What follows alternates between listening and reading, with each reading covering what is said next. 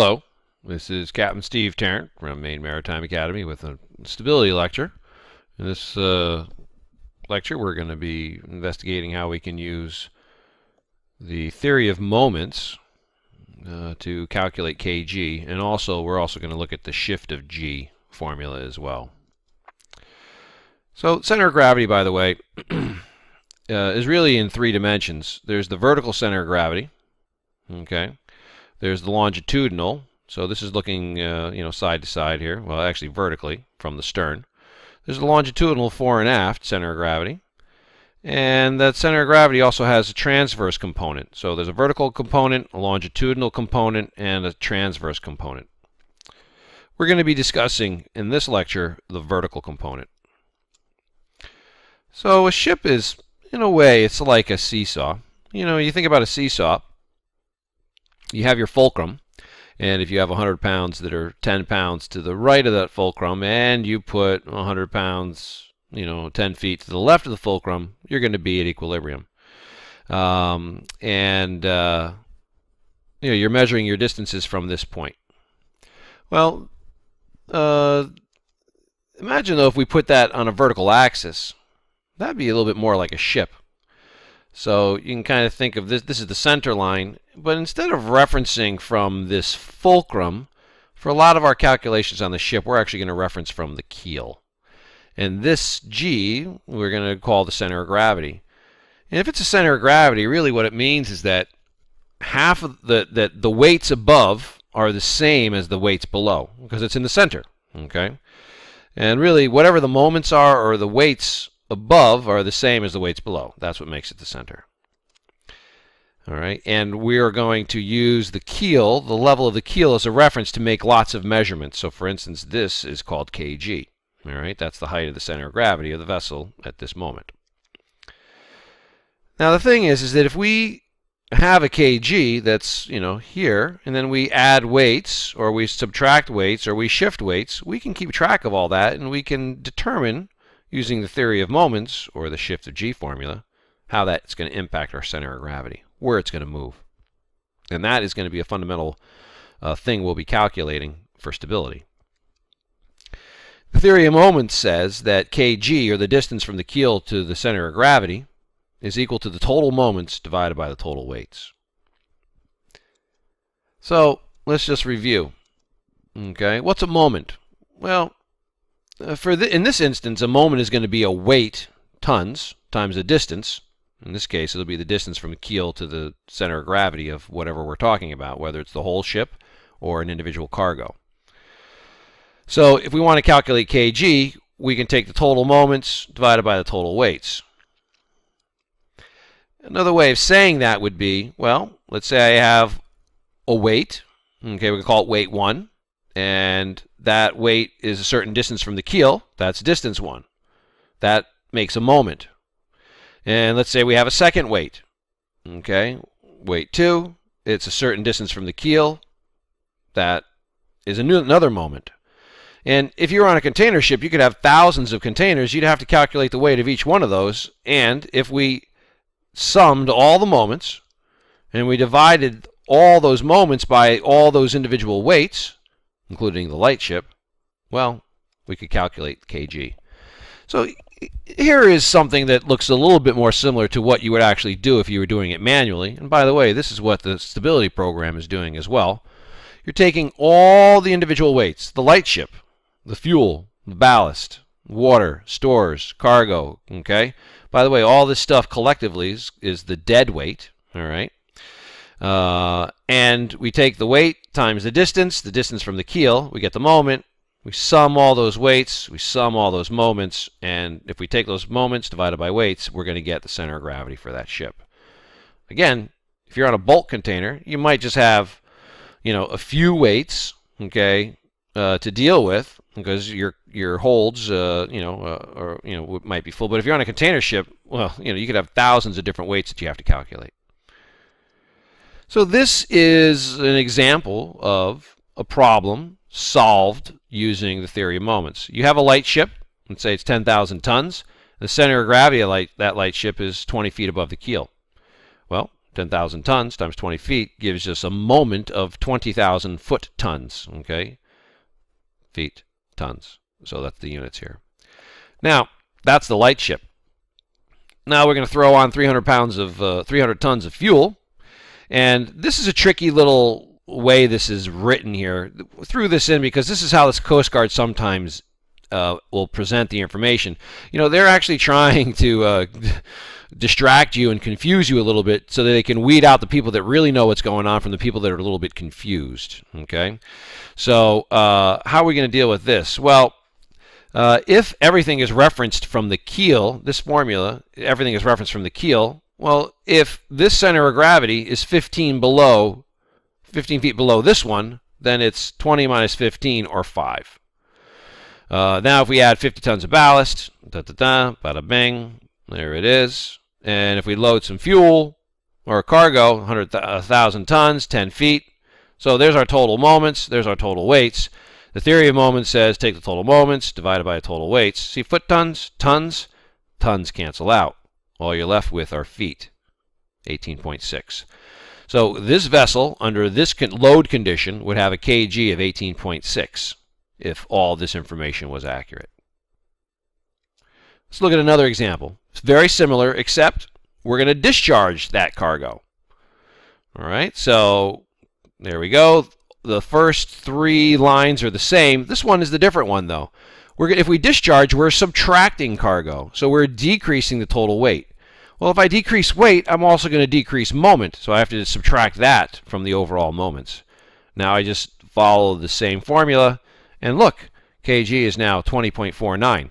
Actually, it went up, which makes sense, okay, because I removed weight.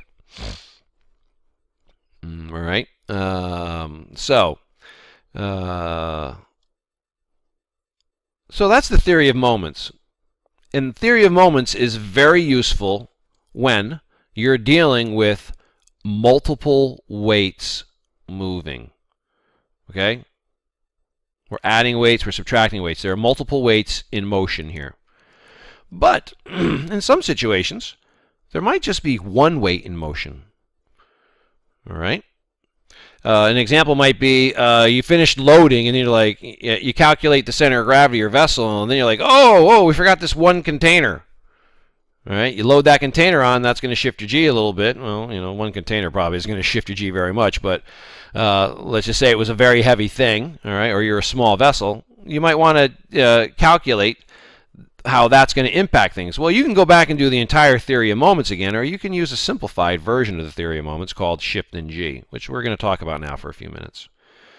So the theory of moments works in all situations, but if you're only moving one weight, there's another quicker method. That's the shift in G, aka GG. It calculates how G moves after a weight is loaded, discharged, shifted, or picked up by the ship's gear. Ship's gear being like the ship's crane, crane, container, okay?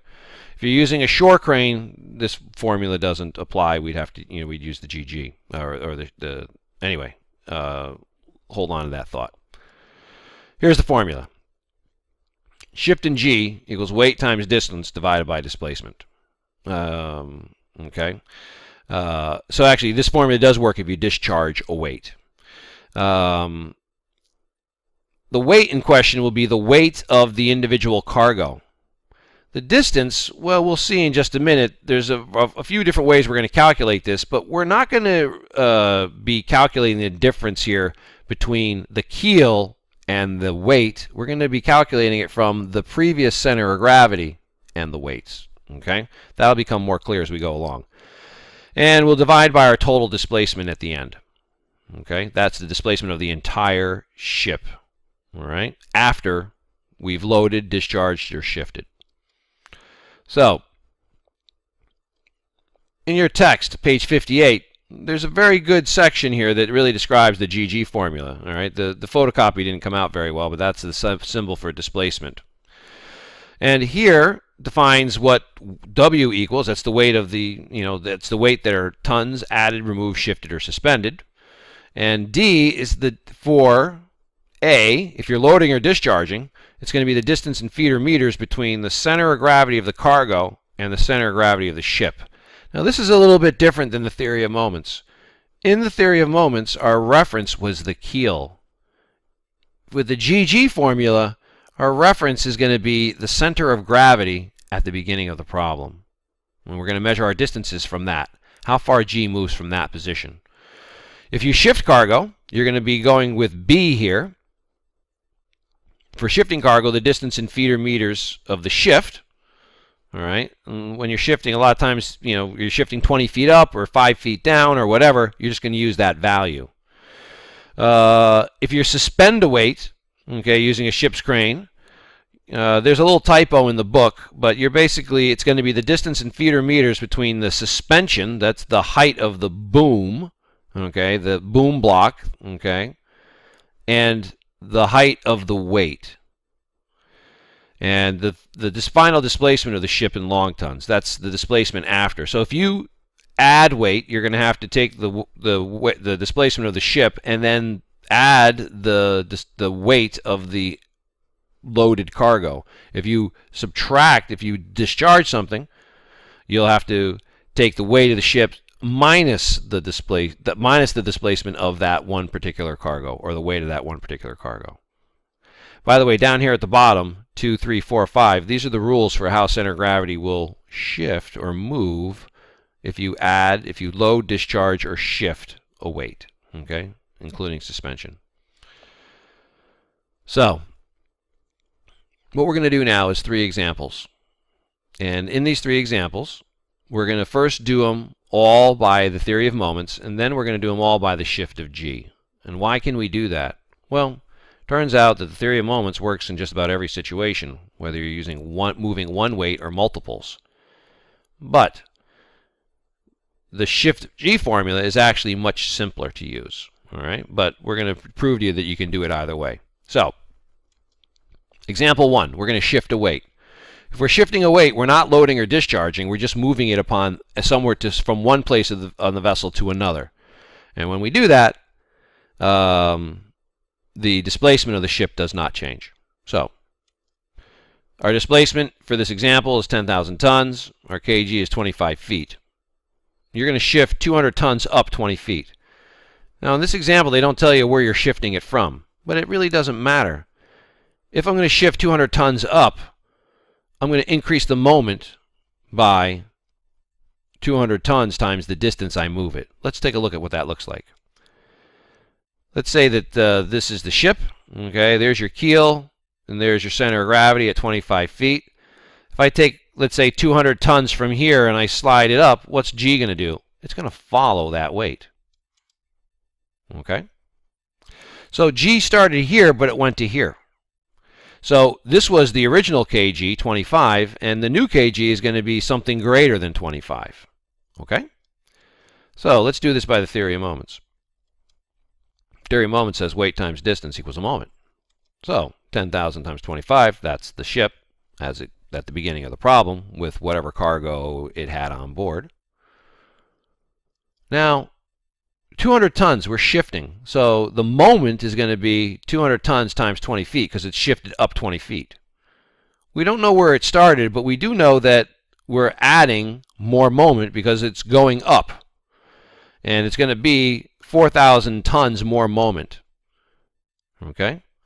But since we're not adding or subtracting actual weight, we're not going to, the 10,000 tons of the vessel stays the same. So we're actually, I put this in parentheses because we're actually not going to sum that here because we didn't change the weight of the vessel. We just moved it around. This would be like you taking uh, your wallet out of your pants pocket and putting it in your shirt pocket. If you're standing on a scale when you did that, it wouldn't change your weight. Okay? It would just change the moment on your body exerted by that wallet. All right? So 10,000 tons, 24, 25, 54, anyway, two, yes, this is your moment. We're going to divide that by 10,000, and our kg is 25.4. Ah, we predicted that it would go up. How far did it go up? The new kg, kg prime, is 25.4 feet. Do not get confused between this. This is not feet. That's prime. That means the new one. Whereas here, hmm, this means feet. All right? That could be a little confusing. What was our original kg? 25 feet. So how far did the center of gravity shift, move? 0.4 feet up. And here it is. This is GG. GG prime. G was here, moved to here. Okay, it went 0.4 feet and it went up. Okay, hold on to that thought. Let's do another example. In this one, we're going to load. Okay, so if we're loading, well, it's well 10,000 tons, kg 25. Everything's the same except now we're going to load 200 tons. We're going to come in maybe at a displacement of this with a kg of that.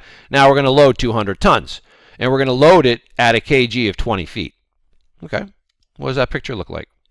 We come in like this. Now suddenly we're going to put 200 tons here. Well, what's G going to do? It's going to move towards the weight. And the center of gravity will decrease. So G is going to go to a new G, G prime, and we should expect it to be less than 25 feet. Let's do the calculation. Weight times distance equals moment, theory of moments. 10,000, hey, that's the same. Now we're adding 200 tons times 20, so the moment is the same. Interesting enough, okay?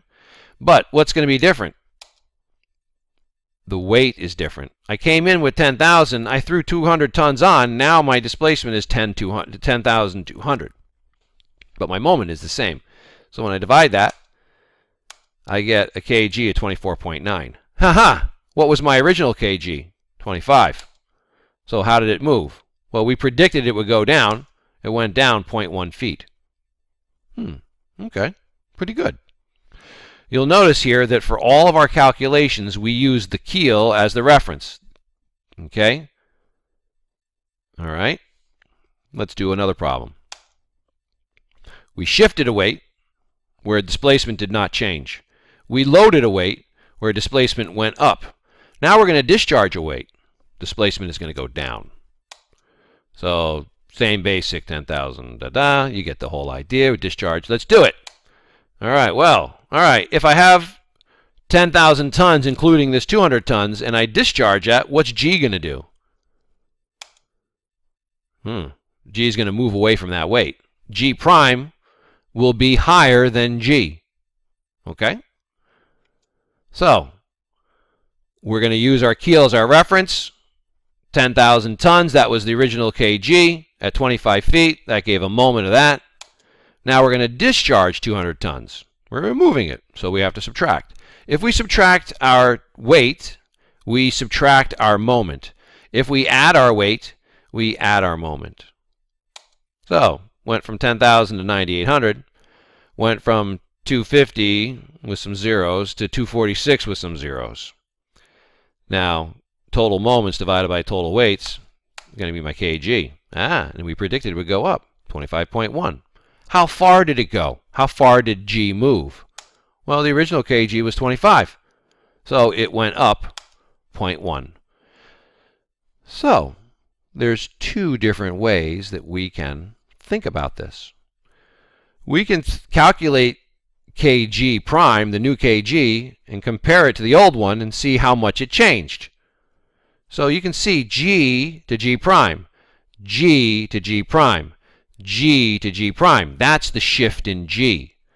This is kg, but this is gg, the difference between the original g and the new. That is a subtle difference between the theory of moments and what we're going to do next. We're going to do the shift to G formula, which we do only, well, it's most convenient to use when only one weight is moving. When only one weight is moving. Okay? Here we came in, we started off with this, and we only moved one weight. Now, we did it by the theory of moments, but we could have done it by this, and that's what we're going to do now. So, the formula says gg equals weight times distance divided by displacement. All right, so this is that excerpt from page 58. In this problem, we are shifting. Then we're going to load, then we're going to discharge. So if we're shifting, for shifting cargo, the distance in feet or meters of the shift, well, we shifted 20 feet. And we shifted 20 feet up. Okay? So, GG equals weight Okay, that weight is for the individual thing, 200, times the distance. We moved it 20 feet up. Okay? So 200 times 20 divided by 10,000. That's the total displacement of the vessel. GG is 0.4. Hey, look, that's what we calculated earlier using the theory of moments. It's the same value. It wasn't this a lot easier than that? Yeah. Okay. So let's do it for the load now. We came in with 10,000 tons. We're adding 200 at a height of 20 feet. Well, what's our weight then? Okay, oh, for loading or discharging, the distance in feet or meters between the center of gravity of the cargo and the center of gravity of the ship. So, the distance in feet or meters between the center of gravity of the cargo and the center of gravity of the ship. Okay, well, let's decipher that. The center of gravity of the ship was 25, and the center of gravity of the cargo is 20. All right, so the distance in feet between those two. Okay, so we're actually not using the keel, we're looking at this distance. Okay, we're no longer using the keel as our reference. We're using the original g as our reference. This is a subtle difference between theory of moments and shift of g formula. So, now I added 200 tons, so it's 10,000 plus 200.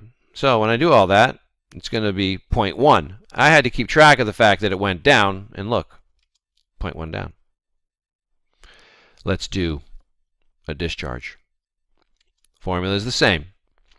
For discharging, the distance in feet or meters between the center of gravity of the cargo and the center of gravity of the ship. Oh, we just did that. 200 times 25 minus 20 divided by 10,000. Now we added 200 when we loaded. Now we're subtracting 200. So it's going to be 0.1 again, but this time we know it went up. And there it is. So, take home message.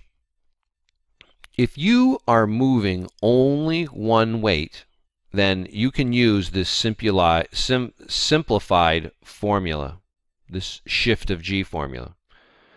You can also use the, the theory of moments, okay, but you're just kind of doing more work. If only one weight is moving, you can use this. Now you can actually use this for multiple weights, but it's kind of a pain. Okay? If you got multiple weights, the theory of moments is really the better way to go. All right. The next uh, lesson is going to be uh, the next step of this, which is looking at how you can use this shift in G formula, or the GG formula, to calculate the shift in G when you suspend a weight with the ship's gear, like a crane or something like that. Stay tuned for that lecture. So, this is just a, a, one last little eval. When do you use the theory of moments? When do you use shift of G? Theory of moments is really best when you have multiple changes in weights. Shift of G formula is really best when you have one moment, okay, moving, one moment changing. And in reality, the shift of G formula is really the theory of moments just done once. Okay? This shift of G is actually a moment formula. This is, but you're just looking at one moment, whereas when we're doing this, we're looking at many moments changing. All right? And the last difference between them is that for the theory of moments, the reference is the keel. But in the shift of gravity formula, the reference is the original center of gravity and how it changes from that to the new center of gravity. And that is the end of that.